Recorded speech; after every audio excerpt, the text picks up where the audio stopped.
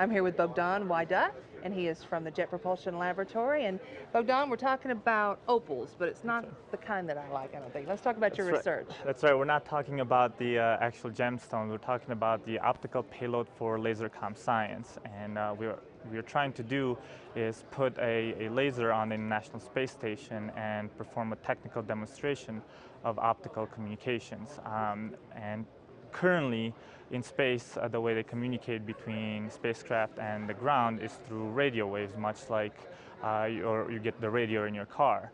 Uh, well, uh, laser communications, for a couple of reasons, is able to generate uh, much higher data rates um, than, than conventional RF radio. So um, for the same amount of power that is required, you can get data rates that are uh, sometimes 10 to 100 times faster than you can with, with uh, radio frequency.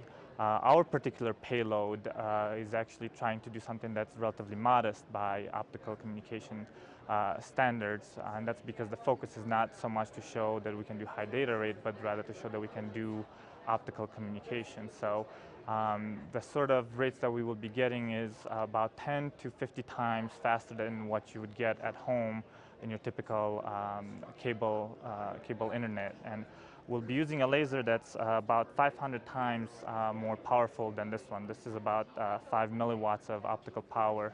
Our laser is about two and a half watts of that, and that, that's what allows us to achieve um, the, these sort of data rates. So how does it work? Uh, so it's, it's, uh, the concept itself is very fairly simple.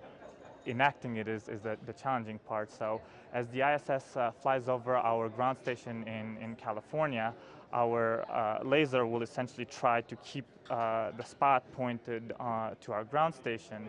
And uh, to give an, an analogy, it's the equivalent of me trying to use this laser to point to an area that's the diameter of about a human hair from about 20 to 30 feet away while I'm moving at about half a foot per second. So That's it- precision right there. that's right. It's all about uh, the precision, and that's really the most difficult point part about uh, about optical communication is the pointing because the beam is so narrow. So what do we gain on Earth and in space from learning about this? Um, it helps. It it uh, increases uh, future missions' ability to bring back more science data for the same amount of uh, of, of resources that that you put in. So. Uh, in low Earth orbit, the upcoming Earth science missions are generating data at rates that are much higher than we are able to bring them down. We're approaching that uh, that that uh, point right now. Um, and so optical communication can offer can, uh, a relief and allow us to bring down much more data.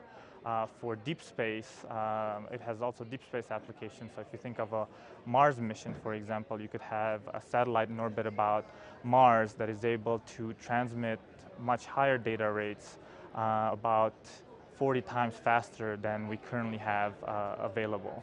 Wow. So when are we going to see this laser from the station? Uh, Opals is currently scheduled to launch in 2013, so if everything goes well, uh, that's when we will be going up and we will be operating for about uh, 90 days. Um, and if everything goes well, hopefully uh, even beyond that. It will go well, I know it. Thank you, Bogdan. Thank you.